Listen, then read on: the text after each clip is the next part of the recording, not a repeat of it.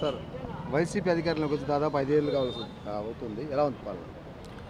YCP ప్రభుత్వము వచ్చే ఐదేళ్ళు కావస్తుంది రాష్ట్రాన్ని సర్వనాశనం చేసింది అంటే అతిశయోక్తి కాదు. ఏ విషయంలో కూడా నేను ఒక రాష్ట్ర సాంస్కృతిక శాఖ ప్రధాన కార్యదర్శిని హేమరత్నం దాసుని.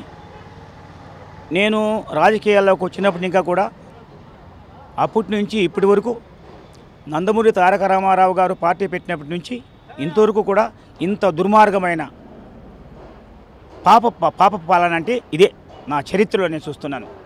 ఒక మహిళ విషయంలో కానీ ఒక కళాకారుల విషయంలో కానీ ఒక రైతు విభాగంలో కానీ ఒక ఉద్యోగస్తుల విషయంలో కానీ ఉద్యోగాలు ఇవ్వాలన్న విషయంలో కానీ నేను మాట తప్పను మడము తిప్పను అని చెప్పినటువంటి పెద్ద మనిషి ఈరోజు అపర చాణిక్యుడు అపర భగీరథుడైనటువంటి చంద్రబాబు నాయుడు గారిని పెద్ద మనిషి పెద్ద మనిషి పెద్ద మనిషి అని విమర్శిస్తూ ఆ ఆంధ్రనీవా కాలువని మహానుభావుడు అపర భగీరథుడు అక్కడి ఇంకా అన్ని వేల కిలోమీటర్లు కుప్పం దాకా కాలువ తవ్వి నీళ్ళు దానమయ్య గారిపల పల్ల దాకా వదిలి నటువంటి నిజమైన దేవుడు అపర భగీరథుడు చంద్రబాబు నాయుడు గారు. కానీ ఇవాళ నేను ఇదే మాట చెప్తున్నాను. మద్యపానం నిషేధం అంటివి ఎక్కడ చేసావయ్యా రోడ్లన్నీ బాగు చేస్తానంటివి. ఎక్కడ చేశావు? ఎస్సీలకు నా ఎస్సీలు నా బీసీలు నా ఎస్టీలు అని చెప్పి అందరినీ కూడా సర్వనాశం చేసి వాళ్ళ కుటుంబాలంతా కూడా నాశనం చేసినటువంటి ఏకైక నాయకుడు దరిద్రుడు ఎవడైనా ప్రపంచంలో ఉన్నాడా అంటే ఒక్క జగన్మోహన్ రెడ్డి తప్ప ఎవరు కాదు. ఇంకొక మాట చెప్తున్నాను. మాట తప్పని మడం తిప్పని నేతనంటివయ్యో విన్నాను ఉన్నానను అంటూ రంకులేస్తివయ్యో నీ మాయ మాటలు నమ్మి మేము మోసపోతిమయ్యో. నీ మాయ మాటలు నమ్మి మేము ఓట్లు వేస్తుమయ్యో. పేదోళ్ళ పథకాలన్నీ నువ్వు పాతరేస్తివయ్యో అందుకు మేమే ఏమంటా ఉన్నాం అందరూ కూడా?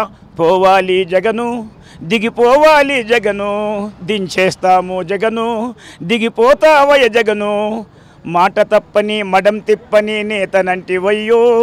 విన్నాను ఉన్నానను అంటూ రంకులేస్తివయ్యో మద్యపానమే వద్దంటివి ఏరులయ్యి పారించి వేస్తివి అధిక ధరలను పెంచనంటివి ధరలు మీద ధర పెంచి వేస్తివి నువ్వు మాయలోడివి జగను నువ్వు మాట తప్పావు జగను దిగిపోయే కాలం జగను అతి దగ్గరుందయ్య జగను.